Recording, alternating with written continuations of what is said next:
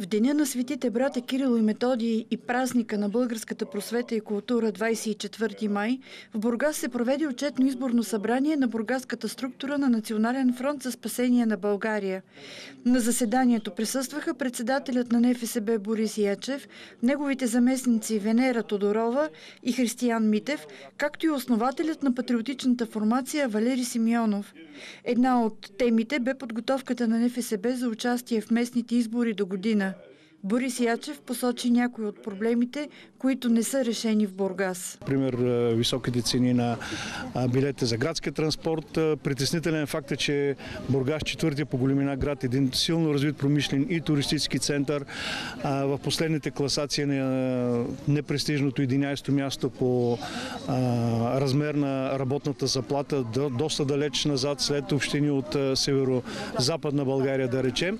Всичко това ще постави нови предизвикателства и пред нашите общински съветници които ще трябва да са и по-активни и с собствени инициативи, които да предлагат за решаването на проблемите на хората в община Бургас и на бизнеса в община Бургас, тъй като антикризисните мерки, които правителство предлага, видимо е, че не дават резултат. По отношение на тези мерки, които ние ще обсъдим и ще предложим на парламентарно представените политически сили, имащи законодателна инициатива и съответно ще дискутираме включително с омбудсмана на републиката.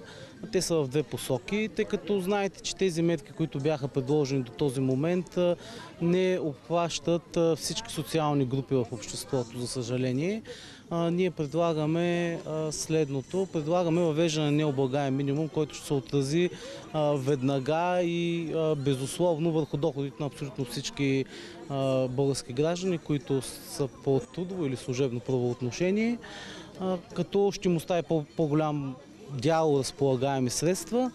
И втората мярка, която абсолютно засяга всички граждани и бизнес тя трябва да е и, и, и тя трябва да е в изключително успешен порядък, това е намаляването на данък добавен стоеност върху електрическата енергия, тъй като с електрическа енергия ползваме всички. С пълно единодушие членовете на заседанието избраха за председател на местната структура на НФСБ в Бургас общинският съветник Боян Дяков, а нейн секретар стана Коста Влъчков.